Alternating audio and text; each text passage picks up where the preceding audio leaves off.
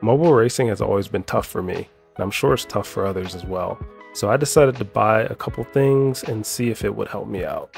So obviously, I could just continue using the motion sensors and, you know, the touch, and I should be fine.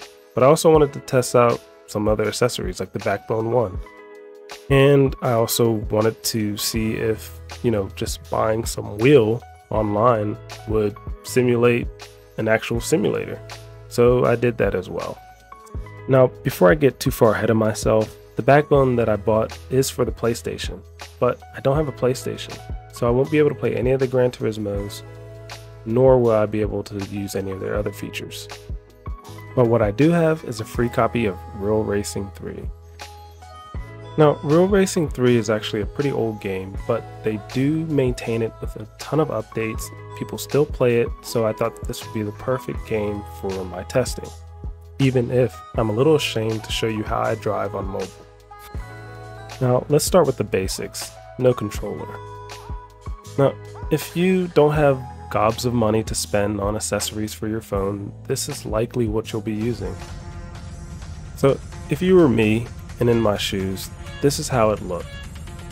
So coming off the gate here, um, my thumb is actually covering up that Porsche on the right, and it's kind of tough because I don't necessarily know that he's there, and then he comes up right there again, and it's because my thumb is covered. But the good thing, even though that's pretty negative, is that I'm able to move out of his way pretty easily by just shifting my phone up and down like so and dodge some other cars that are moving a little too slow. And it looks super smooth. It almost looks like I am using a sim wheel.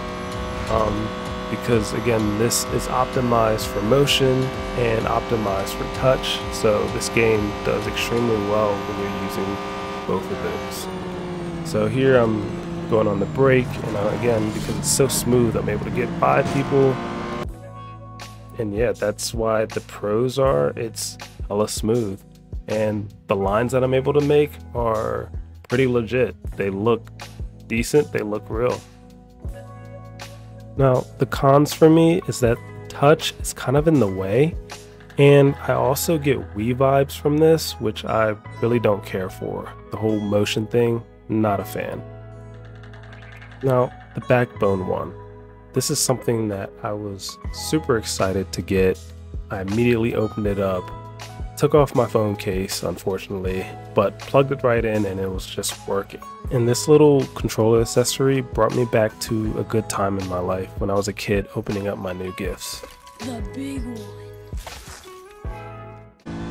Unfortunately, just like getting a lump of coal on Christmas Day, it actually disappointed and I'll show you why. So coming up on this first turn, I thought that I could take this and it just sent me wide. And you can see from before, I didn't do too well with this either. And another thing is, is because of that, my inputs for my steering are absolutely horrendous. They're not smooth at all and I have to tap in order to turn. Meaning I have to tap the D-pad left or right in order to get the car to turn and I have to do the same thing when trying to stay straight. I tried to use the joystick, but that didn't help either. So when it comes to steering, this is absolutely horrendous. Now, maybe this works better on a different game, I don't know, but for real racing, I don't think I can recommend this at all because the steering inputs are extremely important. Yes, you can step on the gas pedal and brake pretty easily, I guess, but when it comes to steering, this is probably not your best tool. Now, I don't want to completely bash it. It does feel great, and it's not just the PlayStation controller. I can use it on pretty much any game on my iPhone, making it a pretty useful accessory. Now, just for Real Racing 3, I had horrible steering inputs. And the backbone that I bought was meant for the PlayStation, so it's probably better on that? I really don't know. I did try to find something else to test, and I found this on eBay and it didn't even fit my phone. So let's not even waste any time on this and let's chuck this where it needs to be chucked. And that's in the trash. And if you actually like this wheel and want it, you can have it, just hit me up. In conclusion, you can use a wheel that likely won't fit your phone or an expensive accessory, or you can just use your good old hands.